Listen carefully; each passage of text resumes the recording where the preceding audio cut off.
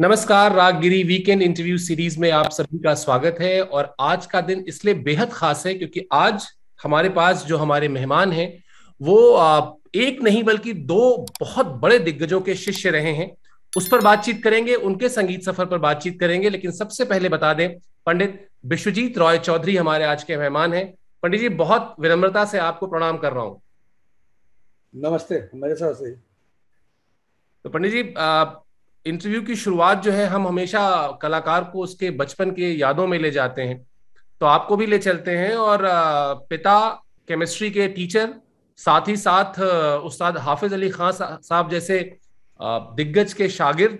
आपकी आपके ऊपर क्या रहता था? ज़्यादा पढ़ाई का प्रेशर रहता था या ज़्यादा संगीत का प्रेशर रहता था पिता की तरफ़ से? नहीं, वो क्या होता है कि हम छह भाई भाई बहने हैं।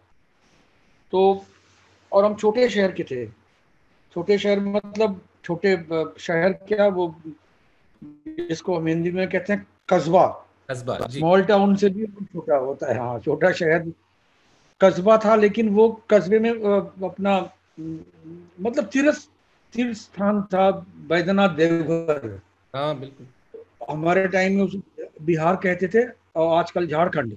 बल्कि झारखंड का झारखंड बनने के बाद उन लोगों ने मुझे उन उन झारखंड के सबसे बड़ा आ, सम्मान झारखंड रत्न बोलते हैं। जी। वो भी दिए हैं उन लोग। तो वो उस टाइम में हम तो बिहार के थे। छोटे शहर किरास्थान तो वो पिताजी बहुत ज़्यादा सिंसियर सिंसियर मतलब इतने ज़्यादा कि वो कॉलेज में कलकत्ते में पढ़ाते थे।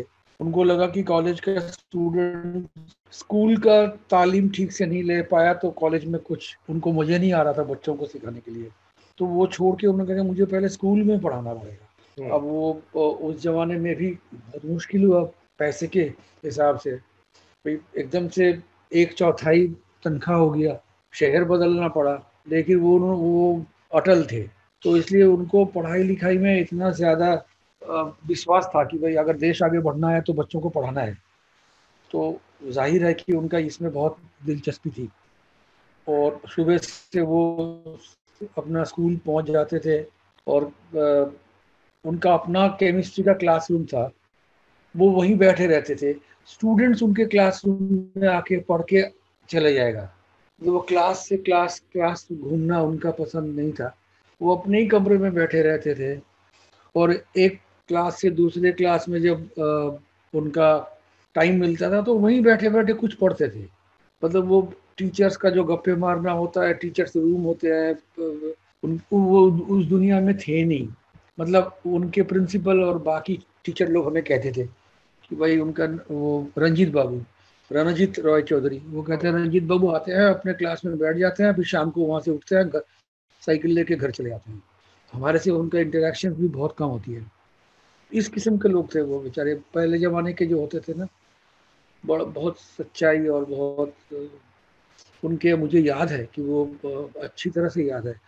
उनके एक छोटा सा झोला और बैग होता था उसमें हमेशा तीन किताब होते ही थे पढ़ने के लिए। जो भी चल रहा है दिमाग में या पढ़ रहे हैं।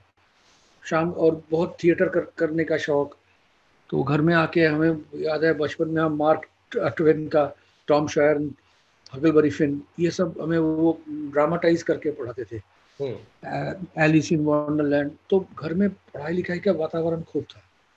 और मुझे भी हिंदुस्तान के सबसे मुश्किल हमारे टाइम में सबसे सब, सब, सबसे मुश्किल मतलब क्या वो एज एज ग्रुप में था। सात से नौ नौ से ग्यारह ग्यारह से तेरह बच्चों का।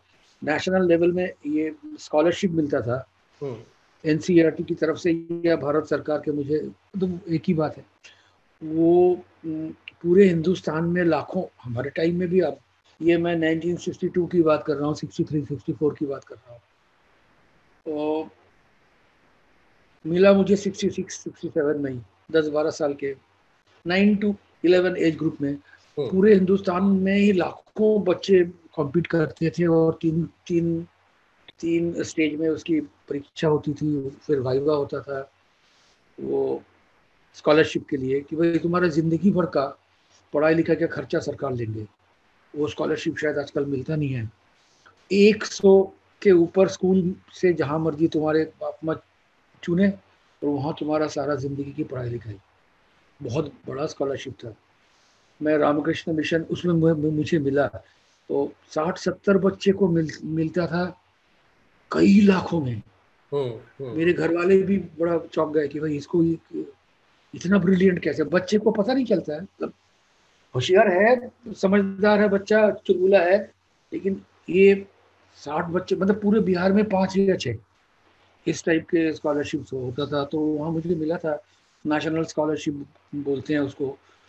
तो मेरे पिताजी का तनख्वाह जब 120 या 130 रुपए था तो मेरा स्कूल का खर्चा था 480 और कुछ जो सरकार देती थी। हम्म, हम्म। इतना वो फ़र्क था। वो रामकृष्ण मिशन में पढ़ा हम लोगों ने। मेरी माता जी ने कहा कि मैं वो आर्मी स्कूल और रांची का नेचर हाट और ये इसमें हम नहीं देंगे। हमारे बच्चे को तो बस रामकृष्ण जी ही। तो ये आ, हमारे बिहार में भी बड़े बड़े रामकृष्ण मिशन उस टाइम तैयार हो गया था। हम्म। तो वहाँ पढ़ाया गया और वही ज़िंदगी भर इसलिए अभी भी याद है इस बुढ़ापा में जाके भी कि बाप रे वो चार सौ सत्तर या चार सौ अस्सी रुपये का स्कॉलरशिप तो बेचारा पिताजी एक सौ बीस रुपये की तनख्वाह और अच्छा चलता था। मतलब अच्छा मतलब जो भी है मिडिल क्लास साइकिल चलाने वाली। तो ये तो एक एक साइड हो गया कि भाई पढ़ाई लिखाई ये वो। दूसरे साइड ये था कि उनको वो थे बंगाली रविंद्रनाथ टैगोर के मेरे पिताजी के जितने सारे फैमिली के जो औरतें थे हम्म। मतलब बुआ और दादी इस टाइप के जो उन लोग सब रविंद्रनाथ टैगोर के आदमियों से शादी हुआ हम्म। मतलब टैगोर के बीबी या बाद में उनके जनरेशन के भी P N Tagore R N Tagore ये सब के मेरे पिताजी के बुआ या मेरे पिताजी के पिताजी के बुआ ऐसे हम्म। क्योंकि वो कुछ रिलीजियस प्रॉब्लम था उन लोगों का ये टेगोर चले गए थे ब्राह्मण समाज में तो उनका भी थोड़ा अलग हो गया और हमारे पिताजी के भी हम पिताजी भी उस वंश वंश थे जहाँ से वो डायरेक्ट हिंदू ब्राह्मण हो, होते हुए भी बांग्लादेश में कुछ मुसलमानों के साथ उन्होंने कुछ खाना सूंप लिया था या कुछ तो उनको भी कुछ अलग किस्म के ब्राह्मण बोला जाता था। तो उन लोगों का एक और ये देखने में सुंदर थे सारे। इतनी ज़्यादा कि मेरी सगी बहन बड़ी बहन सगी बड़ी बहन वो अस्सी साल के हैं उनके भी शादी लास्ट उनकी भी शादी हुआ अब अवनिंद्रनाथ टैगोर के पोते के बेटे के साथ grandson great grandson के साथ। हम्म, हम्म। तो वो चलते रहा उन लोगों का पाँच पीढ़ी तक। तो ज़ाहिर है कि वो कला में बहुत प्यार। बंगालियों का था ही वैसे। बिल्कुल बिल्कुल। अच्छा और मुझे ये बात अब वो नहीं रहे इसलिए इसकी प्रमाण दे दिखाना मुश्किल है लेकिन मुझे याद है कि भाई बुद्धदेव दास गुप्ता ने मुझे एक बार जब पिताजी का डेथ हो गया तो उन्होंने कहा कि भाई मुझे बड़ा दुख तुम्हारे पिताजी चले गए। तो मैंने कहा अरे इतने भी दुख का क्या है? तुम क्या जानते थे उनके बारे में? पिताजी का डेथ बहुत जल्दी हुआ साठ के उम्र में। और मैं कॉलेज में पढ़ रहा था थोड़ा बहुत सर्वोत तो बजा लिया था रेडियो भी पास था। हाँ। बुद्धदेव दास गुप्ता मुझे जानते थे लेकिन मैंने कहा इतना क्या ड्रामा करना? तो उनको खराब लगा के तुम्हें पता ही नहीं है कि तुम्हारा पिताजी का सरोत सुन के मैंने शुरू किया बजाना वो मेरे गुरु के साथ इतने दोस्ती थे उनका। तो मैंने कहा अरे सॉरी जी माफ़ करिए मैं तो सच्ची में ये पिताजी के साथ आपका इतना प्रोग्राम सुना मैंने रेडियो में हाँ। नाना करके भी पच्चीस तीस दफे मैंने आपका प्रोग्राम सुना पिताजी और मैं बैठ के रेडियो में। लेकिन कभी तो ये ज़िक्र ही नहीं किया। वो आपको कुछ थोड़ा बहुत भी जानते थे ये भी नहीं पता था। तो इतना वो खुद बैठ मतलब चुप रहते थे। तो हाँ। कहते नहीं नहीं नहीं क्या बात करते हो? तुम्हारा वो बैद्यनाथ देवघर घर में मैंने दस दफे जा चुका हूँ। चार चार दिन रह चुका हूँ। अच्छा जी मैं पिताजी का छोटा बच्चा हूँ तो मेरे से उनका उम्र भी काफ़ी डिफरेंस था। तो कह रहे तुम बच्चे थे या पैदा ही नहीं हुए वो मैं नहीं जानता हूँ। लेकिन तो सरोद हमारे घर में बहुत ज़्यादा बजा। सरोदी ये बहुत आए। गाना बजाना बहुत हुआ। हम्म, हम्म। दिल से पिताजी का शौक था कि ये बच्चा सरोदी बजाए और गाना बजाना ही करे।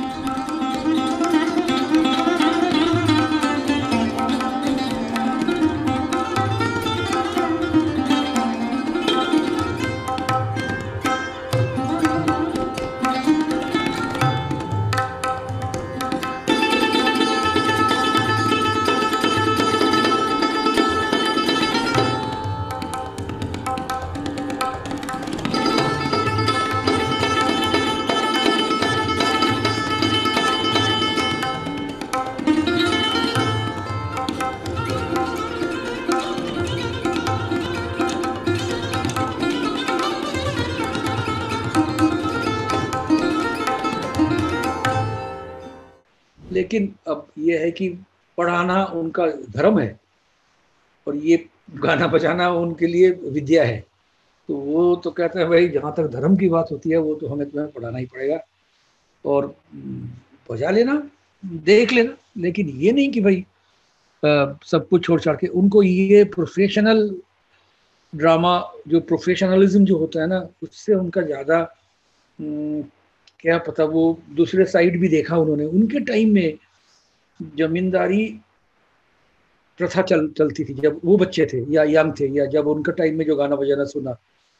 कब की बात कर रहा हूँ मैं थर्टीज फोर्टीज फिफ्टीज सिक्सटीज ये जो तीस चालीस साल की बात है तब भी ये संगीत को पब्लिकली इसमें से एक प्रोफेशन बना के हेल्दी लाइफस्टाइल के अंदर रहना भी उतना मुमकिन है उतना वो तभी अभी तभी तक वो आया नहीं था कि भाई कुछ नहीं करके भी एक नॉर्मल आदमी वो बाई जी औरतें शराब अलग दुनिया हम्म। रात भर जाना ये सब तब भी भी चल रहा था क्योंकि जमींदार साहब और फिर जमींदार साहब की मर्ज़ी वो आपको आपको पसंद करे तो उनकी पसंद के मुताबिक आपको चलना पड़ेगा ये वो थोड़ा सा मिडिल क्लास होने के नाते पिताजी कहते भाई मेरे जैसे टीचर बन जाए या और कुछ बन जाए सब बचा सीख आगे बढ़ो लेकिन ये जो प्रोफेशन शायद वो ज़िंदा रहते तो पता नहीं मैं शायद नहीं मुझे नहीं नहीं लगाते। उनके इंतकाल रेडियो स्टेशन में बजाते बजाते उनका हार्ट अटैक हुआ। हम्म, हम्म, हम्म। जब जाके अमजद अली खान साहब ने मुझे बोला कि अब तो तुम मेरे पास तुम्हें मैं दिल्ली ले आऊँगा। मेरी माता जी से कहा बल्कि ये लड़का इतना टैलेंट है बच्चा लड़का है फ़र्स्ट ईयर कॉलेज पढ़ रहा है।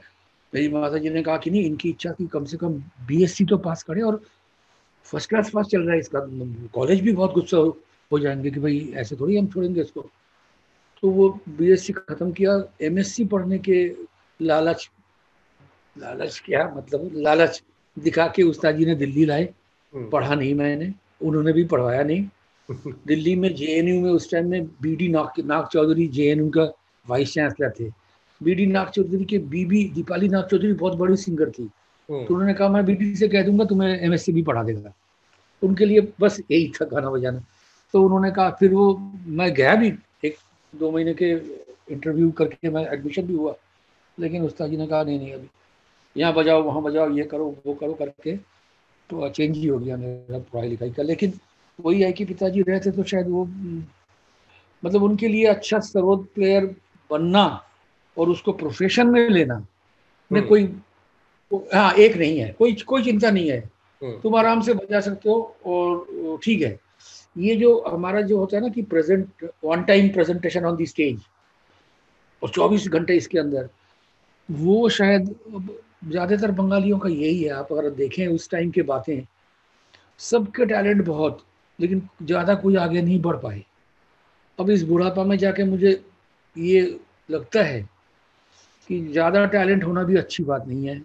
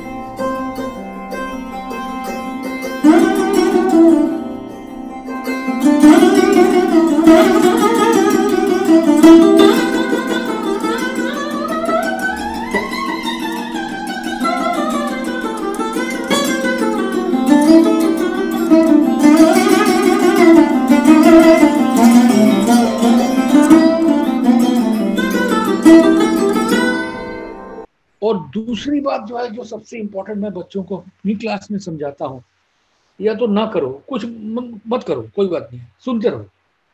और करो तो सच्ची में चौबीस घंटा कम कम पड़े इस लेवल में कर, इस लेवल में लगो कि भाई, रोज का तुम्हारा जो काम है, गाना बजाने के अंदर ही, वो तुम्हें चौबीस घंटा कम पड़े अब बड़े बड़े आर्टिस्टों को देखिए, मंसूर जी का बाप रे, सुबह चार बजे से गा रहे हैं।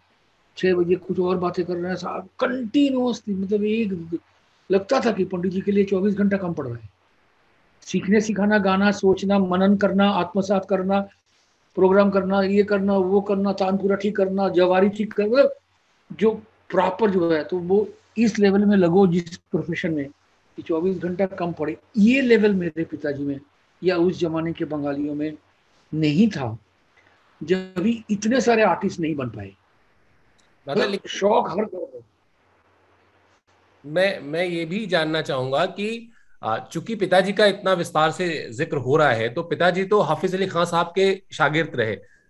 आ, कोई किस्सा ऐसा वो बताते थे हाफिज अली खान साहब के बारे में? क्योंकि अमजद अली खान साहब से तो कई किस्से हमने सुने उनके लेकिन कोई किस्सा जो आप लोग को बचपन में मोटिवेट करने के लिए या उनकी साधना को समझाने के लिए सुनाया जाता हो कोई ऐसा किस्सा?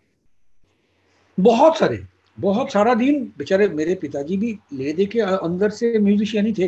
हम्म बिल्कुल लेकिन उनको संगीत प्रोफेशनल करके जो बातें होती है चौबीस घंटे इसके पीछे रहो हम्म। उससे थोड़ा दूर थे वो।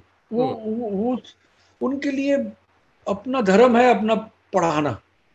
तो टीचर ही से ज़्यादा उनको कुछ भी नहीं कोई भी प्रोफेशन उनको ज़्यादा अगर पूछा जाए कि सबसे तो आप बोलिए सबसे अच्छा क्या आपको लगता है? नहीं पढ़ाना।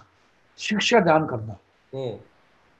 और खुद के लिए आप चीज़ें सीखना लोगों को सिखाना एंटरटेनमेंट देना या किसी लेवल का एंटरटेनमेंट मेंटल लेवल में भी इंटेलेक्चुअल लेवल में भी सिर्फ़ दिल का नहीं सबको उन्होंने number two number three number four में रखेंगे लेकिन शिक्षा देना टीचर वो उनको बहुत लगे हुए थे मतलब जैसे कहा मैं धर्म था उनके लिए हम्म। इसलिए वो हाफिज अली खान साहब के बारे में खूब बातें करते थे और खूब हाफिज अली खान साहब के पास और वो भी नहीं उनके आ, मैं दिल्ली आने के बाद हमारे दिल्ली के क्रिटिक बेचारा वो चले गए जितेंद्र प्रताप सिंह उन्होंने मुझे वो मेरे पिताजी एक साथ ग्वालियर में बहुत सारे ग्वालियर के हाफिज अली खान साहब के किस्सा तो मैं तो अपने बाप ने नहीं बताया ये सुन ले ये सुन ले करके वो दो चार काफ़ी काफ़ी मज़ेदार कहानियाँ बताया जो मैं बता नहीं सकता। आप कुछ जो आप शेयर करना चाहें। नहीं वो वो वो वो वो उल्टे किस्म की कहानियाँ है। लेकिन पॉजिटिव सुनाए अगर आपके पिताजी ने आपको बताया। लेकिन पिताजी का ये बहुत था कि मानोगे नहीं वो कलकत्ता वो हाफिज अली खान साहब थे ग्वालियर के। हम्म। जब ग्वालियर में रहते थे जब वो आ, मेरे पिताजी सीखा जब कलकत्ता आते थे हर साल। और कलकत्ता आने के बाद वो तीन तीन चार चार महीने रहते थे। उस जमाने की बात कर रहा हूँ जिस जमाने में जब एक आर्टिस्ट एक शहर से दूसरा शहर जाता था तो उसी शहर में ट्रांसपोर्ट भी मुश्किल था चार पाँच लगता जाने में ट्रेन बदलो आराम आराम से चलो। तो वो जब जाते थे किसी शहर में तो वहाँ कम से कम पंद्रह बीस दिन एक महीना रहती थी। रहते थे बिल्कुल। ये नहीं था कि सुबह के फ़्लाइट में गए और शाम के फ़्लाइट में वापस आ गए अगले दिन अपना काम शुरू कर दिया। ऐसे भी हमारे सबके साथ आजकल होता है। सेम डे वापस मैं सुबह गया शाम को वापस आ गया रांची से दोपहर की शाम की चार बजे का प्रोग्राम था और मैं अभी गया तो वो वो अलग बात है। लेकिन महीने महीने दो का सब तीन महीने रहे उस दरमियान ही पिताजी का और बाकी लोगों का तालीम हुई है। हम्म। लेकिन ये है कि ये पिताजी कहते थे देखो एक हमारा जो चीज़ है जो लोगों को सच्ची में ये सुनने से अजीब लगता है कि एक हमारे एक टेक्निक है झाला बोलते हैं। जो बड़ा जल्दी ऐसे ऐसे करके बजाना पड़ता है शोर मचता है। हम्म, हम्म। और शोर में मतलब इतना एक्साइटमेंट ज़्यादा होता है उसमें बड़ा खुश हो जाते हो आप। अरे देखो क्या स्पीड और ये तबला वाला भी ढबा कर लेता है। तो वो जो झाले का पोर्शन एंडिंग का पोर्शन क्लाइमेक्सिंग का पोर्शन पिताजी कहते हैं कि हमने सुना था कि हाफिज अली खान साहब ऐसे बड़े आर्टिस्ट थे इतना रियाज कर चुके हैं इतना उनमें वो सजे हुए थे कि वो जब झाड़ा बजाएँगे बच्चे सामने के रोग में सो जाते बड़ों को भी नींद आ जाती थी। तो झाड़ा इतना मुश्किल और फास्ट और एक्साइटमेंट क्रिएट करने वाला। मतलब उनको, उन्होंने भी हाफिज अली खान साहब के बारे में बातें सुनाई। सारा ज़्यादातर उनकी संगीत गुण गुण मतलब कल किसको कह रहा है और दो तीन किस्से। जैसे कि राग विद्या कहते हैं कलकत्ता में उस जमाने में उस जमाने में ना होता था रेडियो का लाइव हम्म। हम्म। सब लोग सामने बैठेंगे वो बजाएँगे वही ब्रॉडकास्ट हो जाएगा लाइव प्रोग्राम बहुत ज़्यादा होता था आजकल सब रिकॉर्डिंग हो गया है लाइव कुछ भी नहीं है उसमें वो कहते हैं कि भुर्जी खान साहब गाने आए भुर्जी खान साहब जो संगीतज्ञ टॉप लेवल के थे लेकिन वो नाम अनाउंस नहीं किया हम्म। क्या राग गाएँगे? हम्म। और फिर बाद में उन्होंने चैलेंज चैलेंज क्या? पूछा कि आप लोगों तो सारे समझदार हैं ये देखिए क्या राग है ये। किसी ने नाम नहीं बोल पाया। चुपके से पीछे? प्रोग्राम के बाद ताकि किसी का कोई भी सम्मान में ठेक ना ठेस ना पहुँचे। हाफिज अली खान साहब जब बजाने बैठेंगे तो मुश्ताक अली खान साहब मुश्ताक हुसैन खान हम्म। इश्तियाक हुसैन खान साहब के रामपुर वाले। हम्म। मुश्ताक हुसैन खान साहब सामने बैठे हुए थे उन्होंने उनका जब शुरू हुआ तो उठ के चले गए थे कुछ काम के लिए। तो किसी को भेजा कि जाके मुश्ताक हुसैन खान साहब को इजाज़त मांग के लाओ कि क्या, क्या मैं शुरू करूँ? हम्म, मतलब ये सब किस्सा है हाफिज अली खान साहब के नाम में। जब हम सुनते हैं तो बड़ा अजीब ही लगता है कि बाप रे इतना। और ये पिताजी कलकत्ते में ऐसे दसों और भी ऐसे वो उनके खुद को एक्सपीरियंस किया उन्होंने। कि भाई झाला बजा रहा है तो लोग सो रहे हैं। और इतना स्पीड में और इतना ज़बरदस्त। खुद बजाने बैठे कोई निकल भी गया उनके पीछे किसी को भेजो कि जाओ बस स्टॉप में जाके उसको बोलो वो पूछ रहे हैं क्या शुरू करें? आपकी इजाज़त है क्या? हम्म। इस टाइप के वो जमाना ही अलग उनकी बात ही अलग होती थी। और कहते हैं कि बहुत ज़्यादा गाने का शौक है। हम्म, हम्म। कहते इतनी सुरीले इतनी मिठास इतना ज़्यादा क्या बोलते हैं गाने की कलेक्शन हम्म। इतना मालूमियत कि एक शुरू हो गया तो समझो अगर ठुमरी में ही गए जो नहीं है दस दस ठुमरी गाते थे जी पीलू में बाईस लोग सामने बैठ के चुप चुप चुप चुप रह जाएँगे जो कलकत्ते में इतना बड़ा कलकत्ते में ठुमरी का हम्म। एक रीत चल रहा था उसमें भी इनका गाना सुनने के लिए लोग पहुँचे मतलब 24 घंटे गवैया 24 घंटे संगीत ये हाफिज अली खान साहब थे और पिताजी ने भी बहुत लंबे चौड़े। कहते थे मेरे सबसे बड़ा कलकत्ते में सबसे सबसे बड़े साइज़ का जूते लेके गया उनके लिए वो वो भी छोटा बड़ा। पूरे वो चाइना चाइना कहते हैं वो कल, कलकत्ते में एक छोटा सा चाइना चाइना बाज़ार बोलते हैं चीना हाँ। बाज़ार। कहते हैं ढूंढ ढूंढ के ढूंढ ढूंढ के मुझे लगा कि उस्ताद के लिए एक जूते लेते हैं उनका चमड़े का काम बहुत अच्छा होता था। तो लेके गए सबसे बड़ा सबसे बड़ा साइज़ लेके गए तो ही छोटा पड़ा बड़ा दिल दुखी हो गया था। ऑर्डर दे के बनवाना पड़ता था और मेरे पिताजी छह फुट दो इंच बहुत वो पहलवान भी थे। पहलवान मतलब बहुत बड़े पहलवान थे हम्म, हम्म। बचपन में। वो कहता मैं अपना जूता देख के मुझे लगा चलो एक साइज़ बड़ा अगर दो साइज़ उसमें भी नहीं हुआ। ऐसे वो पठान जिसको कहते हैं ना वो कट्टर पठान थे हाफिज अली का सर। इसी इसी कड़ी में फिर जी इसी कड़ी में फिर आपके उस्ताद यानी उस्ताद अमजद अली खान साहब का भी ज़िक्र कर लेते हैं। उनके बारे में भी कुछ किस्से सुनाइए हमें क्योंकि वो तो एक ग्लोबल स्टार है भारत के और जिस तरह से सहजता उनकी जो आप देख लीजिए जिस तरह से सम्मान उनको मिला है। एक गुरु के तौर पर उनको आप आप कैसे हमेशा अपने जीवन में रखते हैं? नहीं उस्ताद साहब उस्ताद साहब मैं एक एक अकेला एक ही स्टूडेंट हूँ उनका हम्म। जो उनके घर में रह के सीखा। हम्म। एक छत के अंदर। वो भी कोई एक डेढ़ साल। उसके बाद मुझे उन्होंने किसी हॉस्टल में क्योंकि वो कलकत्ता से मुझे लेके आए थे और अपने घर में रख लिए। उसके बाद एक साल लगा उनको मुझे भारतीय कला केंद्र में हॉस्टल दिलवाने के लिए। लेकिन उसके पहले जितना दिन वो साहब ने मुझे घर में रखा उनका कमाल मतलब मैं तो उनके साथ रह के देखा कि रात को दो बजे मैं रियाज कर रहा हूँ ऊपर वो उन दो फ्लोर का एक पूरा बिल्डिंग ही था उनका। फ्लैट नहीं हाउस हम्म, हम्म। बंगलो था। जी। पंचशील में। वो ऊपर के वहाँ से अपने बेडरूम से कह रहे हैं भाई तेल का डब्बा तुमने क्यों नहीं निकाला? उंगलियाँ उंगलियाँ अटक रही है। अब वो मैंने कहा बाप रे आप मैं नीचे नीचे का कोने का मंजिल में दरवाज़ा बंद करके रियाज कर रहा हूँ। मेरा उंगली का चलन थोड़ा घसीट से उनको पता चल गया कि ये नाखून में तेल नहीं लगाया। ऐसे उनका हाँ ऐसे उनका हाँ। साज के साज के बारे में आप हैरान हो जाएँगे। मतलब कहीं से वो आए घूम घाम के शोर शराबा के अंदर से खुद गाड़ी चला के और आके और मेरा म्यूज़िक रूम में गए तो मेरा सुन रहे। कुछ नहीं ऐसी रियाज सुन रहे कुछ। साफ़ कह रहे हैं तुम्हारा स्केल थोड़ा बी से नीचे लग रहा है। मैंने कहा आप तो बाहर शोर से आ रहे हो। का B B A B C D कहते नहीं नहीं देखो देखो देखो शायद बी से नीचे चला गया क्या? चेक किया तो हाँ मिला। मतलब इस लेवल का उनका सुर बोलो साहस बोलो मिलाना बोलो नाखून बोलो इतना समझ कुछ नहीं करते थे सरोद के सिवा। अभी भी वैसी है। वैसे ही है बिल्कुल बिल्कुल। तो आपके तो दूसरे गुरु जो हैं वो भी मतलब बिल्कुल कह लीजिए कि मस्त संगीत में चौबीसों घंटे जो आप कह रहे हैं डूबे रहने वाले मल्लिकार्जुन मंसूर जी। वो कैसा अनुभव रहा और ये ज़रूरत क्यों पड़ी आपको? ऐसा क्यों लगा कि उनसे भी सीखना चाहिए? नहीं वो ये पहले से डेस्टिन मतलब खैर ज़िंदगी में ज़िंदगी चलती है दो किस्म से। जी। दो एक तो है कि अपने आप रास्ता बनता है, आपको खुद ही पता नहीं है और आपका ज़िंदगी खत्म हो गया, कहीं कुछ चलते गए आपके कुछ। दूसरा होता है हाँ जी प्लान करके।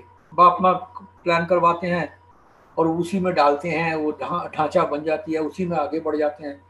तो मीरा वाला पहले वाला जैसा बात थी। ये अमजद अली खान साहब नहीं, उस्ताद जी ने एक प्रोग्राम दिल्ली में कराए थे। वो, उसमें वो खुद बजाएँगे और पंडित मल्लिकार्जुन मंसूर गाएँगे। हम्म। वो भी किसी के रिक्वेस्ट पर। कोई डेनमार्क के वो थे एम्बेसडर बोवेनबुर कह के मिस्टर बोवेन। बोवेन का कैंसर हो गया था वो मर मरने वाले थे। तो वो मरने के पहले उन्होंने कहा मेरा एक शौक है एक ही राग दरबारी कनाडा मैं तुमसे भी सुनूँगा। और मल्लिकार्जुन मंसूर करके एक आर्टिस्ट है पता नहीं तुम जा उनको बहुत कम थे उनसे। उन्होंने कहा मेरा पिताजी का दोस्त है जी क्या बात करते हो? ऑफकोर्स मैं जानता हूँ। करके मंसूर तो मंसूर जी जब दिल्ली आए तो उनको उनका देखभाल गांधी पीस फाउंडेशन में करना वरना सब मुझे दिया गया था। हम्म, हम्म। भाई तुम वो फलाना ट्रेन में आ रहे हैं यहाँ पहुँच जाना वहाँ से यहाँ ले जाना शाम को ले आना मेरे पास। तो वो वो मौका मिला था मुझे मंसूर जी को क्या बीस बाईस साल का बच्चा था मैं ये मैं सेवेंटी नाइन मैं फिफ्टी सिक्स फिफ्टी सेवन का पैदाइश हूँ। हाँ बाईस तेईस साल का बच्चा। तो बड़ा दिल में बहुत सारे खूब सब कुछ एकदम जैसे होते हैं बच्चों का। हम्म। उमंग भरा हुआ है। मुझे सब कुछ आता है और मुझे सब हर टाइम म्यूज़िक के लिए बात करना है। तो मंसूर जी को मैं रेलवे स्टेशन में लेने गया। मैं पंडित जी कुछ सवाल है आपसे कर, करूँ? रेलवे स्टेशन में। हम्म। तो उन्होंने क्या करें? बच्चा है बेचारा उसको कुछ समझ ही नहीं। हाँ बोलो। तो उतरने के बाद हाँ बोलो। हम्म। तो मैंने कहा ये पुलिया धनाश्री और गौरी में फ़र्क। ए करके शुरू हो गया गुड्डा। वहीं खड़े खड़े वहीं खड़े खड़े मुझे थोड़ा सा ज़ोर से। ये देखो। तो मैंने कहा बाप रे तो कमाल ही है। चलो उनको ले आया गांधी पीस फाउंडेशन। तो मैं कहा पंडित जी मेरे पास और तीस चालीस सवाल है। पूछू? हाँ क्यों नहीं? तो मैं कहा फिर तो वो सिलसिला शुरू हो गया। उनको स्थान, काल, पात्र, मैं छोटा लौंडा, क्या कि तेरे को बोलना है उनको उनको, वो पद्म विभूषण थे। उनको क्या है? चुप, ऐसे बोल के, कहा है तेरा अमजद कहा है मेरा गाड़ी? शाम को हाँ चुप। तो ये देशकार और भोपाली और सारे वैसे ही उल्टा सीधा सवाल। एक सेकंड के लिए, और ये बात उनको ज़िंदगी का आखिर के दिन तक भी वैसी रहे। एक वो आपसे बात करेंगे ना, ये मुझे सबसे ज़्यादा उनके लिए कमाल चीज़ अगर कोई मुझे पूछे कि मैं मंसूर जी का सबसे बड़ा कमाल किए चौबीस घंटा गाते थे नॉलेज सारा था। रविशंकर को मैंने खुद देखा पंडित रविशंकर को समझा रहे हैं पंडित जी। खड़तोड़ी और क्या? नहीं उसके बाद क्या? हे गामा गामा ऐसे। हाँ हाँ जी हाँ जी हाँ जी। इतना नॉलेज था उनका। भीमसेन को डांटते हुए गंगूबाई को सिखाते हुए खूब देखा मैंने जी। कुमार। गंधर को मालवी सिखाते हुए हम्म। खूब देखा मैंने जी। खूब मतलब पाँच छह दबे हम्म, वो भी बोल रहा हूँ वो तो छोड़ो नॉलेज के। लेकिन जो इससे भी जो मुझे लगा पंडित मल्लिकार्जुन मंसूर का वो क्या है कि वो जिनसे बात करते थे उनको वो एलिवेट कर लेते थे अपने लेवल में। ये एक कमाल के उनके पावर। मतलब उस टाइम के लिए आप और वो एक ही प्लेन में है। अच्छा मेरे पास ऑडियो कैसेट थे मैं कुछ सवाल कर रहा हूँ। अच्छा पंडित जी भीम पलास में शुद्ध निषाद की खंड तो लगता है ना? फिर देख रहा हूँ पंडित जी चुपचाप बैठे हुए मेरे है ऑडियो अभी भी है कैसेट रिकॉर्डर में कैसेट रिकॉर्डर घूमे जा रहे हैं। वो बहुत देर के बाद कह रहे हैं डिफ़िकल्ट क्वेश्चन है। डिफ़िकल्ट क्वेश्चन अच्छा मैं भी एक डेढ़ मिनट के बाद करूँ हाँ। क्या मतलब तेरा हाँ बोलने का? क्या समझता है तू? लेकिन उस टाइम में वो नशा ऐसे चढ़ाते थे आपके अंदर कि आपको भी लगता था कि हाँ जी ये बाकी लोगों का ज़्यादातर मैं देखा कि मैं सत्य साई बाबा के साथ भी बात कर चुका हूँ। मैंने बहुत जो हाँ। पहुँचे भी रही उनके सामने खुद को बड़ा छोटा लगता है। मंसूर के सामने ये नहीं लगेगा कभी आपको। मल्लिकार्जुन जी के सामने आप खुले सवाल करेंगे और वो आपको ऐसे एलिवेट कर लेंगे कि बराबरी की बात चलती थी। कुछ नहीं बराबरी क्या बराबरी? हम्म, हम्म, हम्म। और मरने की उनका डेथ के पहले 82 1992 में उनका डेथ हुआ। मैं 91 की बात कर रहा हूँ दिल्ली आते तो मेरे साथ रहते थे। लास्ट के बारह तेरह साल। और धारवाड़ में पचासों दफे गया हूँ नहीं तो चालीस पचास दफे तो गया तो वो रात को ढाई बजे मुझे उठा रहे हैं। हाँ विश्वजीत। मैंने उठ गया क्या? पंडित जी बोलिए कानपुरा खोलू? दो ढाई बजे। पूछ रहे हैं कि तुम्हें सुंदर कली राग आता है? तो मैंने कहा नहीं शुरू करिए। तो बेचारा बुढ़ापा में अस्सी प्लस तो उनको आया होगा दिमाग में तो वो ऐसे हम्म, हम्म। गाना चाहते हैं बताना चाहते हैं मैं गाने नहीं लाता हूँ तानपुरा यहाँ बैठेंगे उधर म्यूज़िक रूम में बैठेंगे। कल नहीं नहीं मैं सुंदर कली राग तो मैं तक ही नहीं बनू तो मैंने कहा पंडित जी शुरू करिए, क्या है? तो कहते हैं कि, अरे, मुझे नहीं आता है भाई। तो मैंने कहा, फिर ढाई बजे बेचारा क्या ये, कहाँ फंस गया मैं? तो मैंने कहा अच्छा जी, फिर सो, आप हो जाइए। तो सुबह करते हैं, चाय देखते हैं यार क्या, अभी अगर इच्छा है तो चाय पी लेते हैं, चलिए। अरे, नहीं, तुम्हें आता क्यों नहीं, बताओ ना? तो मैं कहा, नहीं, मुझे भी नहीं आता है।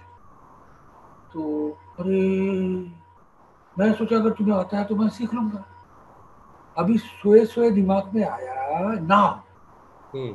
जैसे राम चार और बोल दिया उन्होंने राम कली है चंपा कली है ऐसे करके जो जितने राग हैं और गुड़ कली तो ऐसे सुंदर कली भी है।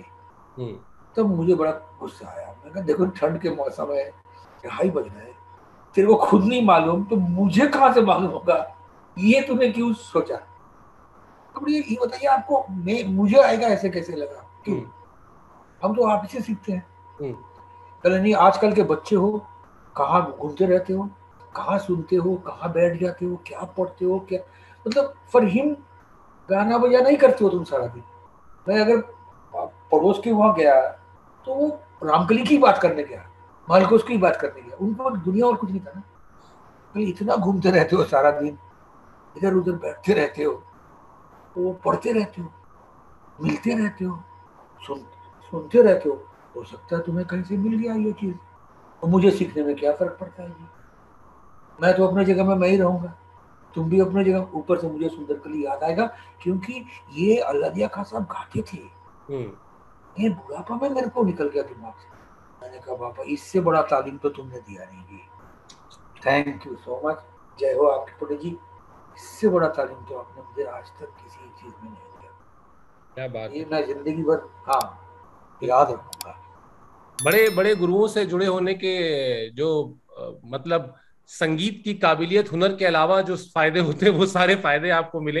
पंडित जी आपने समय निकाला हमारे लिए बातचीत की और इतनी सहजता से बातचीत हुई कि समय ही का पता ही नहीं चला कि हम लोग कब आधे घंटे ज़्यादा बातचीत कर चुके हैं। आपका बहुत बहुत धन्यवाद और बहुत बहुत धन्यवाद।